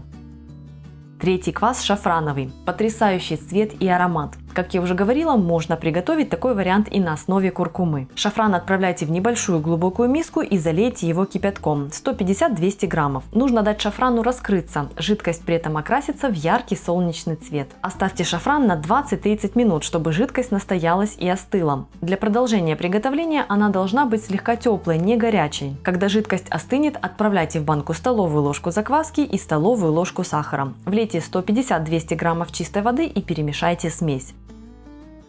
Влейте в банку с закваской шафрановую воду прямо с рыльцами. Долейте в банку чистую воду, чтобы ее уровень доходил до плечиков. Накройте банку тканью и зафиксируйте резинкой. Оставьте квас бродить при комнатной температуре. Можно оставить прямо на рабочей поверхности или на столе, но на него не должны попадать прямые солнечные лучи, поэтому на подоконник лучше не ставить. Сперва брожение кваса будет вяленьким и еле заметным, но затем станет активным. Вы будете слышать, как шипит квас. Наша задача посматривать на него время от времени. Когда вы увидите, что брожение стало стихать, пузырьков стало меньше и шипит квас уже не так рьяно, его можно сливать. У меня это этот процесс занимает от 24 до 36 часов. Я не жду, пока квас полностью утихнет, но и пока он очень активный, я его не сливаю, даже если прошло 36 часов. Просто наблюдайте, и вы поймете, когда пришла пора.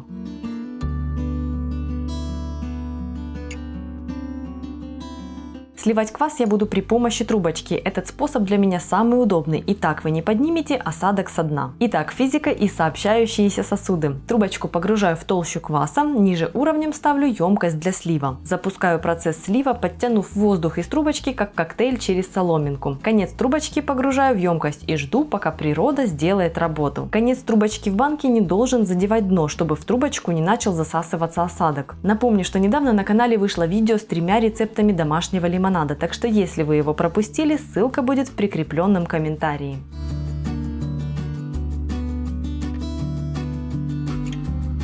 У меня на канале есть рецепт ароматнейшего клубничного кваса. Сбраживается он без применения дрожжей и закваски, а при помощи изюма. Ссылку для вас я оставлю в описании под этим роликом. Теперь нужно отправить этот квас на второе брожение, на карбонизацию. Для того, чтобы спровоцировать второе брожение, в бутылку отправляйте изюм и вторую половину сахара. Влейте в бутылку снятый с осадка квас. Я дополнительно его фильтрую через тот кусочек ткани, которым он был накрыт во время брожения. Это удобно. Плотно закройте бутылку крышкой и встряхните ее.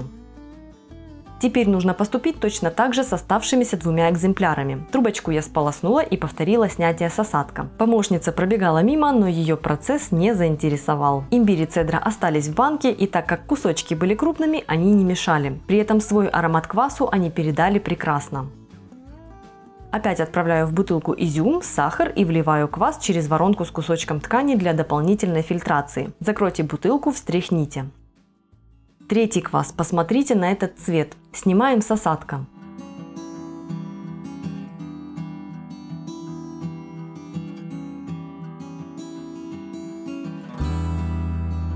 В бутылку отправляется изюм и сахар.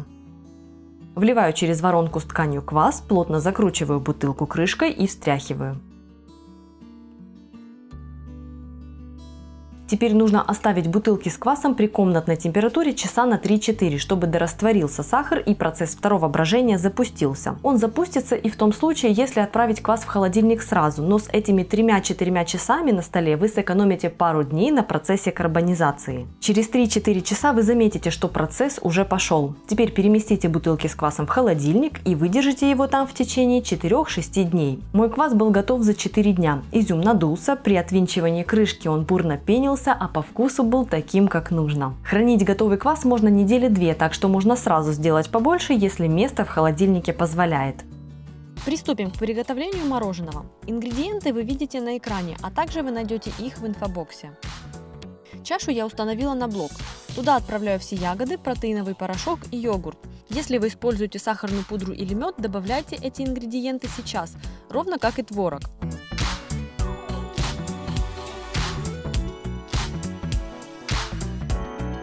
Измельчите массу до полной однородности. Если вам неприятны мелкие косточки ягод в смеси, протрите массу через сито, чтобы избавиться от них. Я заранее отправила чашу мороженицы в морозильную камеру, чтобы хладоген сделал свою работу. Отправляю туда смесь и включаю прибор минут на 25-30.